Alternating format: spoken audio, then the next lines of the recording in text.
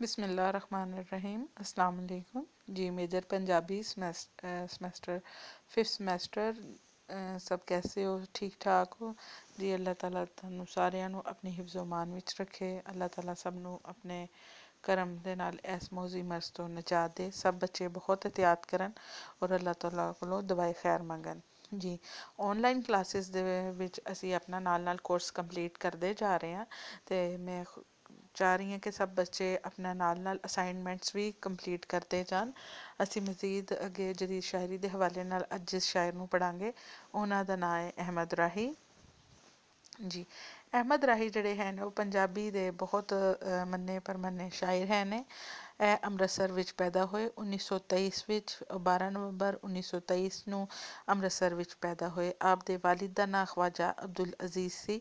ਉਹ ਅੰਮ੍ਰਿਤਸਰ ਵਿੱਚ ਸ਼ਾਲਾਂ ਦਾ ਕੰਮ ਕਰਦੇ ਸਨ। ਮਾਪਿਆਂ ਨੇ ਅਹਿਮਦ ਰਾਹੀ ਦਾ ਨਾਂ ਗੁਲਾਮ ਅਹਿਮਦ ਰੱਖਿਆ, ਲੇਕਿਨ ਮੁਰਸ਼ਦ ਨੇ ਇਹ ਨਾਂ ਬਦਲ ਕੇ ਖੁਰਸ਼ੀਦ ਅਹਿਮਦ ਰੱਖਿਆ।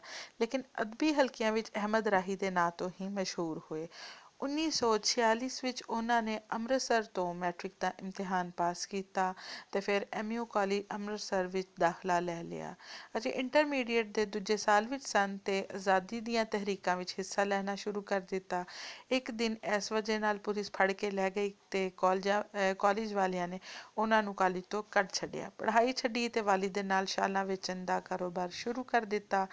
1947 ਵੇਲੇ ਉਹ ਕਲਕੱਤਾ ਵਿੱਚ ਸਨ। ਵੰਡ ਤੋਂ ਬਾਅਦ ਉਹ ਲਾਹੌਰ ਆ ਗਏ। ਕੁਝ ਚਿਰ ਤਰੱਕੀ ਪਸੰਦ ਤਹਿਰੀਕ ਦੇ ਰਸਾਲੇ ਸਵੇਰ ਦੇ ਮਦੀਰ ਵੀ ਰਹੇ ਤੇ 1954 ਵਿੱਚ ਫਿਲਮੀ ਦੁਨੀਆ ਦਾ ਰੁਖ ਕੀਤਾ। ਤੇ ਫਿਲਮੀ ਗਾਣੇ ਲਿਖਣੇ ਸ਼ੁਰੂ ਕਰ ਦਿੱਤੇ।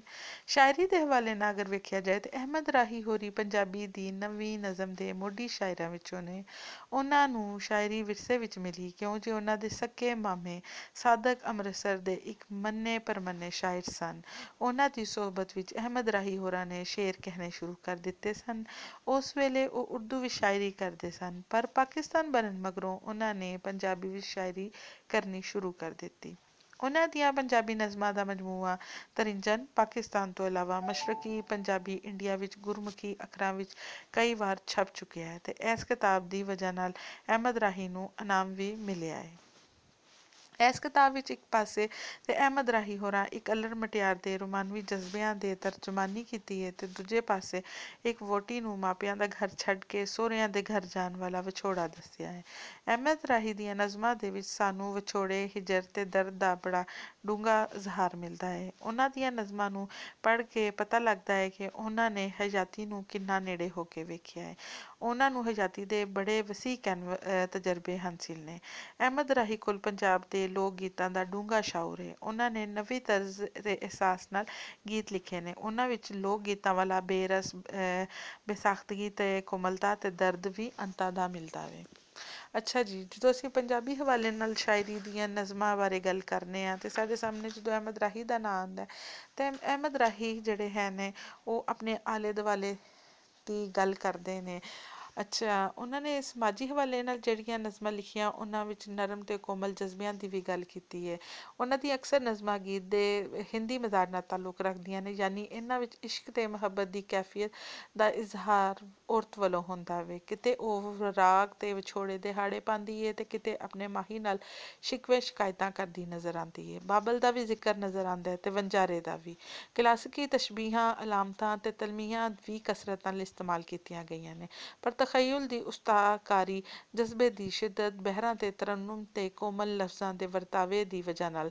ਨਵਾਂ ਨਵਾਂ ਵੂਰ, ਵੰਜ ਕਰੇ ਵੰਜਾਰ, ਡਕ ਲੈ ਸ਼ਰਾਰਤੀ ਅੱਖੀਆਂ ਨੂੰ ਕੋਲ ਕਰਾਰ ਟਾਵੇਂ ਟਾਵੇਂ ਤਾਰੇ ਦਿਲਾਂ ਦੇ ਸੌਦੇ ਪੇਚੇ ਪੈ ਗਏ ਨੇ। ਬਿੰਡੋਰ ਤੇ ਇਹੋ ਜੀਆਂ ਹੋਰ ਬਹੁਤ ਸਾਰੀਆਂ ਨਜ਼ਮਾਂ ਨਜ਼ਮਾਂ ਘੱਟ ਤੇ ਗੀਤ ਜ਼ਿਆਦਾ ਬਣ ਜਾਂਦੀਆਂ ਨੇ। ਕਿਉਂ ਜੇ ਇਹਨਾਂ ਵਿੱਚ ਵਸਲ ਤੇ ਫਰਾਕ ਦੇ ਬਿਆਨ ਦਾ ਸਦਰ ਪੱਧਰ ਵਾਲਾ ਅੰਦਾਜ਼ ਇਖਤਿਆਰ ਕੀਤਾ ਗਿਆ ਹੈ ਤੇ ਵਾਹਿਦ ਗਾਇਬ ਦੀ ਬਜਾਏ ਵਾਹਿਦ ਮੁਤਕਲਮ ਦਾ ਸੀਗਾ ਵਰਤਿਆ ਗਿਆ ਹੈ, ਜਿਹੜਾ ਕਿ ਗੀਤਾਂ ਦਾ ਇੱਕ ਖਾਸ ਵਸਫ ਹੈ। ਫਿਰ ਖਾਰਜੀ ਤਬਾਰ ਨਾਲ ਲਾਈਨਾਂ ਦੀ ਮੌਸੀਕੀ ਦੇ ਇਲਮ ਨੂੰ ਮੁੱਖ ਰੱਖ ਕੇ ਤੋੜੀਆਂ ਤੇ ਜੋੜੀਆਂ ਗਈਆਂ ਨੇ। ਅਕਸਰ ਮਿਸਰਿਆਂ ਦਾ ਹਮ ਵਜ਼ਨ ਤੇ ਹਮ ਕਾਫੀਆ ਹੋਣਾ ਵੀ ਇਸ ਮਜ਼ਾਜ ਦੀ ਨਿਸ਼ਾਨਦਹੀ ਕਰਦਾ ਹੈ। ਬਰਹਲ ਕਿਤਾਬ ਦਾ ਦੂਜਾ ਹਿੱਸਾ ਜਿਹੜਾ 103 ਸਫ਼ੇ ਤੋਂ ਸ਼ੁਰੂ ਹੁੰਦਾ ਹੈ, ਅਜਿਹੀਆਂ ਨਜ਼ਮਾਂ ਤੇ ਮੁਸ਼ਤਮਿਲ ਹੈ ਜਿਨ੍ਹਾਂ ਵਿੱਚ ਸਮਾਜੀ ਹਵਾਲੇ ਬੁਨਿਆਦੀ ਅਹਿਮੀਅਤ ਰੱਖਦੇ ਨੇ। ਇਹ ਦਰੁਸਤ ਹੈ ਕਿ ਅਹਿਮਦ ਰਾਹੀ ਨੇ ਸ਼ਾਇਰੀ ਦੀ ਹਿੱਕ ਵਿੱਚ ਜੰਗਲੀ ਕਬੂਤਰ ਦੇ ਆਲਣੇ ਨਹੀਂ ਪਾਏ, ਬਲਕਿ ਉਹਨਾਂ ਆਲਣਿਆਂ ਦਾ ਜ਼ਿਕਰ ਕੀਤਾ ਹੈ, ਜਿਨ੍ਹਾਂ ਵਿੱਚ ਗਰੀਬ ਵਸਦੇ ਨੇ। ਪਰ ਇੱਥੇ ਵੀ ਉਹ ਹਰ ਮਸਲੇ ਨੂੰ ਔਰਤ ਦੀਆਂ ਸਦਰਾਂ ਦੇ ਹਵਾਲੇ ਨਾਲ ਹੀ ਬਿਆਨ ਕਰਦੇ ਨੇ। ਸ਼ਾਇਦ ਇਸ ਲਈ ਕਿ ਸਾਡੇ ਮਾਸ਼ਰੇ ਵਿੱਚ ਸਿਨਫ ਨਾਜ਼ੁਕ ਤੇ ਖਾਸ ਤੌਰ ਤੇ ਅਨਵਿਆਹੀ ਕੁੜੀਆਂ ਇੱਕ ਅਜਿਹੇ ਮਜ਼ਲੂਮ ਕਰਦਾਰ ਦੀ ਹੈਸੀਅਤ ਰੱਖਦੀਆਂ ਨੇ, ਜਿਹੜੀਆਂ ਅਧਥਲਮੀ ਤਬਕੇ ਦੀ ਭਰਵੀਂ ਨੁਮਾਇੰਦਗੀ ਕਰ ਸਕਦੀਆਂ ਹੋਣ। ਫਿਰ ਇਹ ਜ਼ਮਾਨਾ ਫਸਾਦਾਂ ਦੇ ਵੀ ਕੋਲ ਬਹੁਤ ਨੇੜੇ ਦਾ ਜ਼ਮਾਨਾ ਸੀ, ਯਾਨੀ ਕਿ ਜਦੋਂ ਨਵਾਂ ਨਵਾਂ ਪਾਕਿਸਤਾਨ ਵਿੱਚ ਲੋਕ ਦਾਖਲ ਹੋਏ ਸਨ ਹਿਜਰਤ ਕਰਕੇ ਆਏ ਸਨ ਤੇ ਉਸ ਟਾਈਮ ਕਾਫੀ ਉਥਲ ਪੁਥਲ ਮਚੀ ਹੋਈ ਸੀ, ਠੀਕ ਹੈ ਜੀ।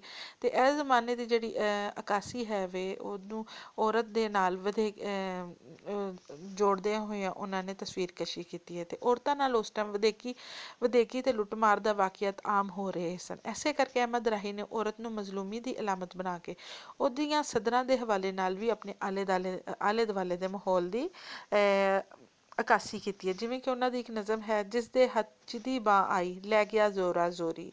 ਚਾਰ ਚੁਫੇਰੇ ਨਾਗ ਸ਼ੂਕ ਦੇ, ਲੱਖ ਹਜੂ ਪੇ ਕੂਕ ਦੇ। ਕੋਈ ਨਾ ਸੁੰਦਾ ਹੜੇ ਜਿਨ੍ਹਾਂ ਹੱਥ ਜਿਨ੍ਹਾਂ ਨੇ ਅੱਗਾਂ ਲਾਈਆਂ, ਮਹਿਲੇ ਮਾੜੀਆਂ ਵਾਲੇ, ਉਹਨਾਂ ਹੱਥ ਖੁਦਾਈ, ਸਰਕਾਰ ਦਬਾਰ।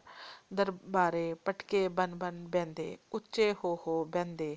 ਉਹਨਾਂ ਸਾਰ ਕੀ ਸਾਡੇ ਦੁੱਖ ਦੀ, ਅਸੀਂ ਮਜ਼ਾਰੇ ਕਮੀ ਉਹ ਜਾਗੀਰਾਂ ਵਾਲੇ।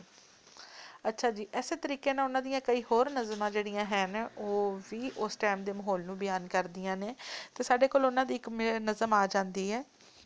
ਜੇ ਤੂੰ ਮਿਰਜ਼ਾ ਹੁੰਦਾ ਰਾਂਝਿਆ, ਤੇ ਮੈਂ ਤਤੜੀ ਜ਼ਹਿਰ ਨਾ ਫੱਕਦੀ। ਸਾਡੇ ਪਿਆਰ ਦੀ ਸਾਂਝੀ ਪੀਂਗ ਨੂੰ ਭੈੜੀ ਮੌਤ ਵੀ ਤੋੜ ਨਾ ਸਕਦੀ। ਤੇਰੀ ਕੜੀ ਕਮਾਨ ਦੇ ਮਾਨ ਤੇ ਵੇ। ਮੈਂ ਕੈਦੋ ਕਾਜ਼ੀ ਡੱਕਦੀ। ਤੂੰ ਖੇੜੇ, ਤੂੰ ਤੂੰ ਖੇੜਿਆਂ ਨੂੰ ਬੀਬਾ ਸਿਜਦਾ। ਮੈਂ ਸਿਆਲਾਂ ਨਾਲ ਨਜਿੱਠਦੀ। ਮੈਂ ਭਾਂਬੜ ਬਨ ਕੇ ਮਚ ਬਨ ਕੇ ਮਚ, ਤੂੰ ਭਾਂਬੜ ਬਨ ਕੇ ਮਚ ਦੋ।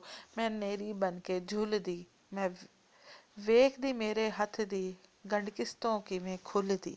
ਇਹਨਾਂ ਨਜ਼ਮ ਦੇ ਵਿੱਚ ਉਹਨਾਂ ਨੇ ਉਸ ਸੂਰਤ-ਹਾਲ ਦੀ ਸੱਚੀ ਕਾਸੀ ਕਰਕੇ ਸਿਰਫ ਹਮਦਰਦੀ ਦੇ ਜਜ਼ਬੇ ਨੂੰ ਹੀ ਨਹੀਂ ਉਭਾਰਿਆ, ਜਦ ਕਿ ਉਹਨਾਂ ਦੀ ਇਹ ਜਿਹੜੀ ਨਜ਼ਮ ਹੈ ਵੇ ਜੇ ਤੂੰ ਮਿਰਜ਼ਾ ਹੁੰਦੇ ਹੋ, ਵਿੱਚ ਇਸ ਔਰਤ ਦਾ ਲਹਿਜਾ ਸਖਤ ਹੋ ਜਾਂਦਾ ਹੈ ਤੇ ਦੇ ਵਿੱਚ ਤਮਸ ਤੇ ਤਾਨੇ ਦਾ ਅੰਦਾਜ਼ ਆ ਜਾਂਦਾ ਹੈ। ਯਾਨੀ ਉਹ ਰਾਂਝੇ ਦੀ ਇਮਾਨਤ ਬਣ ਕੇ ਆਪਣੀ ਆਪ ਹਿਫਾਜ਼ਤ ਕਰਨ ਦਾ ਆਹਰ ਕਰਕੇ ਵੇਖ ਚੁੱਕੀ ਹੈ। ਇਹਦੀ ਵਿੱਚ ਬਚਤ ਤੇ ਕਾਮਯਾਬੀ ਮੁਮਕਿਨ ਨਹੀਂ। ਚਨਾਚਾ ਸੂਰਤ ਹਾਲ ਦੇ ਤਜੀਏ ਤੋਂ ਬਾਅਦ ਇਸ ਚੀਜ਼ ਤੇ ਪਹੁੰਚਦੀ ਹੈ ਕਿ ਜੇ ਕੋਈ ਮਿਰਜ਼ਾ, ਜਿਹੜਾ ਕਿ ਅਣਖੀ ਤੇ ਦਲੇਰੀ ਦੀ ਅਲਾਮਤ ਸਮਝਿਆ ਜਾਂਦਾ ਹੈ ਉਹਦੇ ਨਾਲ ਹੁੰਦਾ ਤੇ ਸ਼ਾਇਦ ਦੋਵੇਂ ਰਲ ਕੇ ਹਨੇਰੀਆਂ ਦੇ ਇਸ ਤੂਫਾਨ ਨੂੰ ਡੱਕਣ ਵਿੱਚ ਕਾਮਯਾਬ ਹੋ ਜਾਂਦੇ। ਤੁਸੀਂ ਇਹਦੇ ਵਿੱਚ ਇੱਕ ਹੋਰ ਵੀ ਗੱਲ ਸ਼ਾਮਿਲ ਕਰ ਸਕਦੇ ਹੋ। ਉਹ ਇਹ ਹੈ ਵੇ ਕਿ ਇਹਦੇ ਵਿੱਚ ਇੱਕ ਔਰਤ ਦੀ ਸਦਰ ਹੈ ਵੇ, ਇੱਕ ਔਰਤ ਦੀ ਖਵਾਇਸ਼ ਹੈ ਵੇ ਕਿ ਅਗਰ ਤੂੰ ਮੇਰੇ ਨਾਲ, ਮੇਰਾ ਜਿਹੜਾ ਮਹਿਬੂਬ ਹੈ ਵੇ, ਅਗਰ ਉਹ ਤਾਕਤਵਰ ਹੁੰਦਾ ਤੇ ਉਹ ਮੈਨੂੰ ਇਸ ਜ਼ੁਲਮ ਤੋਂ, ਇਸ ਜ਼ਿਆਤੀ ਤੋਂ ਬਚਾ ਸਕਦਾ ਸੀ ਔਰ ਮੈਂ ਵੀ ਉਹਦੇ ਨਾਲ ਬਰਾਬਰ ਦਾਖਲ ਹੋ ਜਾਂਦੀ। ਅਗਰ ਤੁਸੀਂ ਇਹਨੂੰ ਡੂੰਘੇ ਪੱਖੋਂ ਦੇਖੋ ਤੇ ਇਹਦੇ ਵਿੱਚ ਤੁਹਾਨੂੰ ਇੱਕ ਅਹਿਸਾਸ ਨਜ਼ਰ ਆਉਂਦਾ ਵੇ ਕਿ ਜੇ ਆਵਾਮ ਇਕੱਲੀ ਕੁਝ ਨਹੀਂ ਕਰ ਸਕਦੀ ਮੈਨੇਜਮੈਂਟ ਨਿਜ਼ਾਮ, ਇੰਤਜ਼ਾਮੀ ਢਾਂਚਾ ਅਗਰ ਮਜ਼ਬੂਤ ਹੋਏਗਾ ਤੇ ਅਵਾਮ ਵੀ ਉਹਦਾ ਸਾਥ ਦੇਗੀ। ਤੇ ਜਦੋਂ 1947 1947 ਤੋਂ ਬਾਅਦ ਮਹਾਜਰਾਂ ਦੀ ਵੰਡ ਦਾ ਟਾਈਮ ਆਇਆ ਕਿ ਮਹਾਜਰ, ਮਹਾਜਰਾਂ ਨੂੰ ਜ਼ਮੀਨ ਵੰਡ ਕੇ ਦੇਣੀ ਹੈ, ਮਹਾਜਰਾਂ ਦੀ ਬਾਦਕਾਰੀ ਦੇ ਮਸਾਇਲ ਹੈ ਨੇ ਔਰ ਦੂਸਰੇ ਮਸਾਇਲ ਨੂੰ ਸਾਹਮਣੇ ਰੱਖਿਆ ਗਿਆ ਤੇ ਉਸ ਲਿਹਾਜ਼ ਨਾਲ ਜਦੋਂ ਵੇਖਿਆ ਗਿਆ ਤੇ ਇੱਕ ਮੁਸ਼ਕਿਲ ਸਿਚੁਏਸ਼ਨ ਪਾਕਿਸਤਾਨ ਹੈ ਸੀ। ਕੱਲੇ ਲੋਕ ਤੇ ਆਵਾਮ ਤੇ ਆ ਚੁੱਕੇ ਸਨ ਇੱਕ ਨਵੇਂ ਪਾਕਿਸਤਾਨ ਦੇ ਵਿੱਚ। ਲੇਕਿਨ ਉਹਨਾਂ ਨੂੰ ਕਿਸੇ ਜਗ੍ਹਾ ਦੇ ਉੱਤੇ ਠਹਿਰਾਣਾ, ਉਹਨਾਂ ਨੂੰ ਦੁਬਾਰਾ ਜ਼ਿੰਦਗੀ ਦੀ, ਚੱਲਦੀ ਹੋਈ ਜ਼ਿੰਦਗੀ ਵਿੱਚ ਸ਼ਾਮਿਲ ਕਰ ਲੈਣਾ ਵੀ ਇੱਕ ਜ਼ਰੂਰੀ ਕੰਮ ਸੀ। ਲੇਕਿਨ ਇੰਤਜ਼ਾਮੀ ਢਾਂਚੇ ਦੀ ਜਿਹੜੀ ਕਮੀ ਹੈ ਸੀ ਔਰ ਇੰਤਜ਼ਾਮੀ ਢਾਂਚੇ ਦੇ ਵਿੱਚ ਜਿਹੜਾ ਪ੍ਰੋਬਲਮਸ ਆ ਰਹੇ ਸਨ, ਮੁਸ਼ਕਲਾਂ ਆ ਰਹੀਆਂ ਸਨ ਔਰ ਮਸਾਇਲ ਹੈ ਸਨ, ਉਹਦੀ ਗੈਰ ਇਨਸਾਫੀ ਫੰਡ ਤੇ ਨਫਸਾ ਨਫਸੀ ਤੇ ਆਪਾ ਥਾਪੀ ਨੇ ਇੱਕ ਐਸਾ ਮਾਹੌਲ ਕ੍ਰੀਏਟ ਕਰ ਦਿੱਤਾ ਸੀ, ਜਿਹਦੇ ਵਿੱਚ ਇੱਕ ਔਰਤ ਜਿਵੇਂ ਬੇਬਸ ਹੁੰਦੀ ਹੈ ਔਰ ਉਹ ਸਦਰ ਕਰਦੀ ਹੈ ਉਮੀਦ ਕਰਦੀ ਹੈ ਤੇ ਇੱਕ ਆਵਾਮ ਜਿਹੜੀ ਹੈ ਸੀ, ਉਹ ਵੀ ਇੱਕ ਔਰਤ ਦੀ ਸ਼ਕਲ ਦੇ ਵਿੱਚ ਸਦਰਾਂ ਪਾਉਂਦੀ, ਉਮੀਦਾਂ ਰੱਖਦੀ ਨਜ਼ਰ ਆ ਰਹੀ ਸੀ।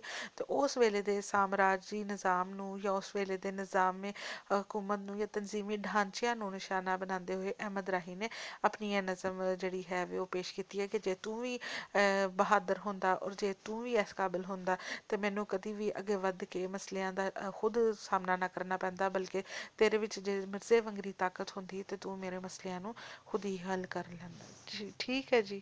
ਅ, ਇਸ ਹਵਾਲੇ ਨਾਲ ਅਗਰ ਤੁਹਾਨੂੰ ਕਿਤੇ ਕੋਈ ਸਮਝ ਨਾ ਆਈ ਹੋਵੇ ਤਾਂ ਤੁਸੀਂ ਮੈਨੂੰ ਅ, ਪੁੱਛ ਸਕਦੇ ਹੋ। ਓਕੇ ਜੀ। ਅੱਲਾ ਹਾਫਿਜ਼।